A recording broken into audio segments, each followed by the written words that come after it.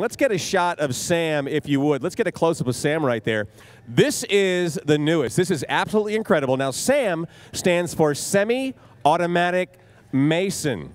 And this is phenomenal. Just watch him for a second. I mean, he butters his own brick, and through a series of lasers and the way they've got it set up, I mean, it's absolutely amazing, and I'm standing here with Scott Peters, uh, who's responsible for this wacky guy right here. Scott, let me give you a microphone because um, I'm just so enamored with Sam. I just may go over there and have a conversation with him. So tell us all about Sam. What is Sam really? Well, as you said, SAM is short for Semi-Automated Mason, and it's a uh, bricklaying robot. Uh, it's designed and built to work alongside the masonry crew to support and take some of the heavy lifting off their backs, uh, help with the, the productivity on the job site, and really uh, you know, I think th there's a number of benefits that SAM can bring to the masonry industry. But I mean, how does somebody come up with an idea for this? I mean, I look at some of the walls that Sam is building, and they're absolutely gorgeous. I mean, the guy does good work, and he never takes a break. Yeah, there's a ton of technology that we looked at in the manufacturing space, and really this is the first opportunity to bring this idea of digitally designed uh, concepts with robotic placement into the construction industry, something that manufacturing and other industries have done for years.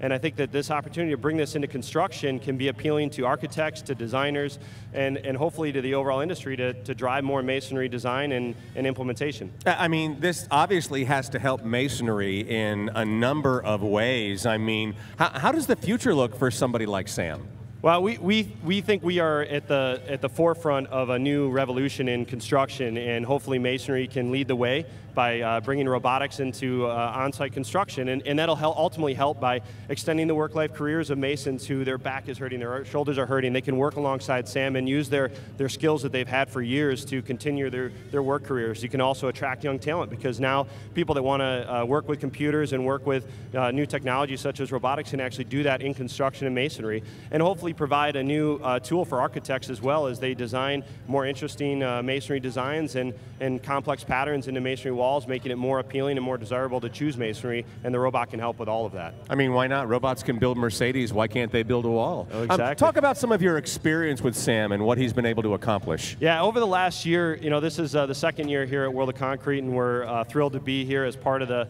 you know, part of the uh, Bricklayer 500, and and I think what we've experienced over the last year has been a ton of great opportunities on job sites. We've been on a number of job sites working with mason contractors and general contractors and uh, just showing what SAM can do. And, and I think that everyone from the, the contractors have seen the benefits of having SAM on the job as well as the masons and, and laborers who have worked alongside SAM have seen the benefits firsthand of what it's like to work with the robot and have, have thoroughly enjoyed it. And uh, you know, we've done this through uh, a robotic services offering that we have where it's an opportunity for people to try SAM out on their job. And um, this is run, you have an iPad that you can actually uh, run SAM with, you know, yeah. and, and, you punch everything in and design the wall that way. Now, it's run through a series of layers. I know we have lasers on one side and lasers over on the other. Now, if I were to cross, I would break that laser. Would SAM stop? If you broke that laser while Sam was ready to place a brick, it would stop and it would beep at you which basically is saying, hey, get out of my way. and then as soon as you get out of the way, the robot continues operation. Can we again, see if it works? Yeah, sure. Okay, here we go. I'm going to walk so in we, front We got to go on the other side, We got to go on the other side. All right, we're going to see if we can uh, get Sam to stop here so we can interrupt him. So I'm just going to walk across. Yeah, so All right, you just kind of, you, you, if you basically block the laser right here as Sam is laying, it'll chirp at you. Oh and yeah, and he stops. As soon as, as soon as it sees the laser again, it starts laying again. Okay, but I like that. You can get a close-up down here. I want you to watch this. When the brick comes down, he's got, he's got his self-buttering down there. So they're measuring the brick. The lasers are trying to tell you exactly where's that brick going to go. It butters itself. It's going to put it right up in here. And Sam does absolutely nice work. Scott, this is awfully impressive out here, and Sam's going to be building walls all day? He will, and if, if you want to get a first-hand look at our software of how to design interesting uh, walls, by, uh, come on over to our tent, check it out, and uh, you can see Sam working firsthand. Excellent, thank you. Well, we appreciate it, and uh, Sam, lunch is on me today. I mean, why not? The guy doesn't eat much, you know.